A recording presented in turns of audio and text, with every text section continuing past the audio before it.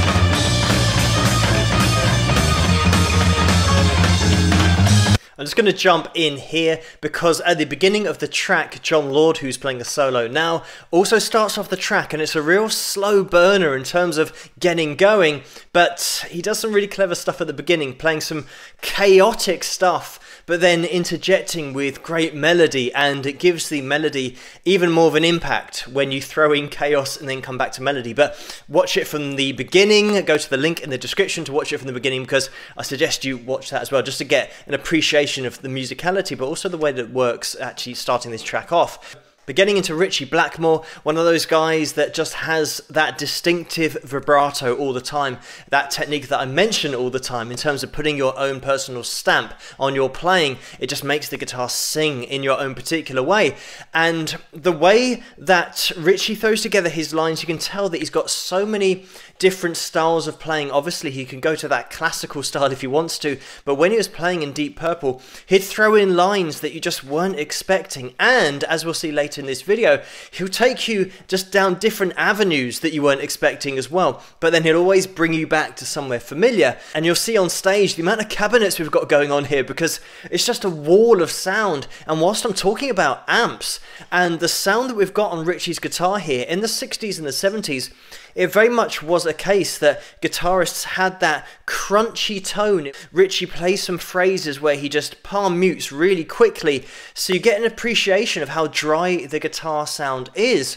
And interestingly, on that last lead solo that we've just come out of, he was playing in that neck pickup position and he switched. I think it's maybe 3 minutes 57 around that kind of time where he switched to the bridge pickup to see how that sounded and he instantly went back up to that neck pickup within about three seconds because sometimes with these players, they know exactly what they want to get live in terms of the sound and how they want their lead to sound in a particular part of the composition. And that's exactly what Ritchie did there. He just experimented with the sound, but then thought, no, this isn't where I want to be, and just absolutely flicked it straight back again. Having a tone like this is great when you're listening to a player like Ritchie. Of course, if you're listening to somebody who isn't quite as good, this tone is going to grate because of the playing, not because of the sound of the guitar in terms of the tone coming out of the amp, but just the player's expression and maybe their ability on the fretboard.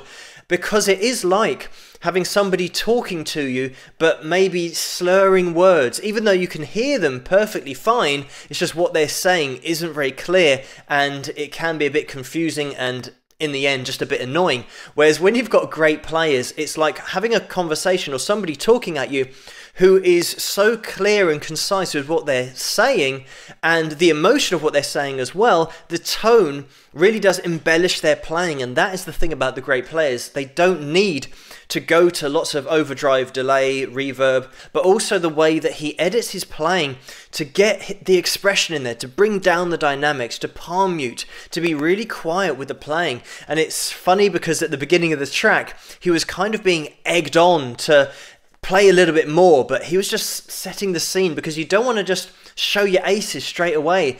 And there'll be other parts of this track where we've got a little bit of harmonica, for example, and Ritchie really does hold back on that guitar playing while Ian is playing the harmonica because now that is supposed to be in the spotlight. And the best bands do this, they know exactly when a particular member has that time in the spotlight, so then they edit their playing so that that instrument is the focus and they're not drawing too much focus away from that solo section. And when Ritchie isn't playing in a solo, you can hear his rhythm is really cut back. And almost it's hard to hear at some points because of that appreciation of the band and that band dynamic of having these different focal points within the track. I've just cued it forward a little bit. We're going to be jumping into Ian's vocals now, and then we'll listen to a little bit more after that too. You lazy. You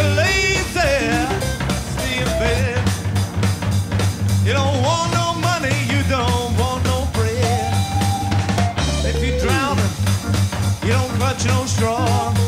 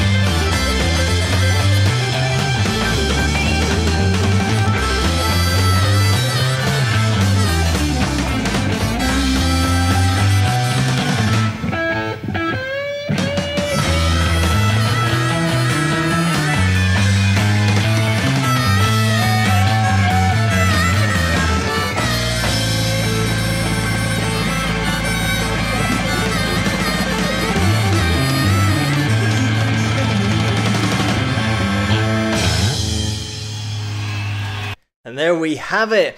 That was tough trying to actually jump in at any point because once you've gone down to that really low dynamic and then a band just kick in for the end and really take it to that crescendo. It's so cool when you've got a great band like Deep Purple absolutely laying it down. And one thing I want to point out about that solo that we had from Ritchie, the way that everything drops out apart from the bass here. So it means that there's now no musical reference point, or more importantly, there's no musical railroad that you have to follow. And that's exactly what Ritchie does in that solo because he takes you down different avenues, and there's a particular avenue that he went down which was so off the wall that at the end of it you could see that he laughed and he smiled and then he brought it back to the riff. And something that surprises me in this video is how accurately these strings come back to pitch after that effective dive bomb that Ritchie does with the whammy bar because back in these days you didn't have the strings locked in tune so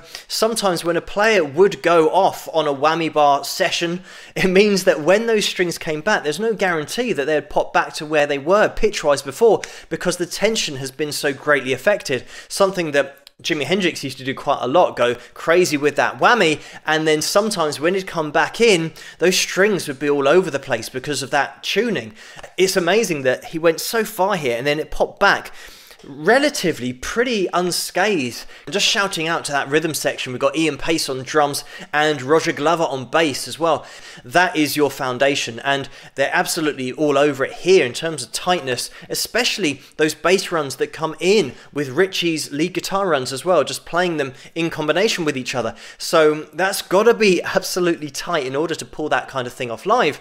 But the bands that sometimes had songs that were seen as just classic rock and might just be a D chord and a G and an A, there was often so much depth to their playing. And these kind of bands, the impression that I get when I watch these videos so much later, but in the 60s and the 70s, you had to go and watch a band live to really get an appreciation of their musicality and their extemporization and their chemistry as a band and just how it all worked. I'm talking about Ritchie's expression, his techniques, his stylizations, the things that he gets down on that fretboard that just make him sound like him. I have done another video on Ritchie, so I don't want to repeat myself too much, but the technique has to be absolutely top notch when you're playing a tone that is as clean as this, as dry as this. When you listen to the way that he suddenly cuts off those notes, and there's just nothing on that sound, it's just all Ritchie. And these kind of tones back in the day means that because it was such a clear tone, you got the expression from the player, and that was it. That's the beauty about great guitar players, and that's the hardest thing to achieve for any guitar player is just to sound like themselves. But thank you so much for suggesting this video for me to take a look at and keep those suggestions coming in the comments below. Let me know what you guys think and if you like this video please give it a thumbs up and subscribe and I'll see you guys at the next one. Rock!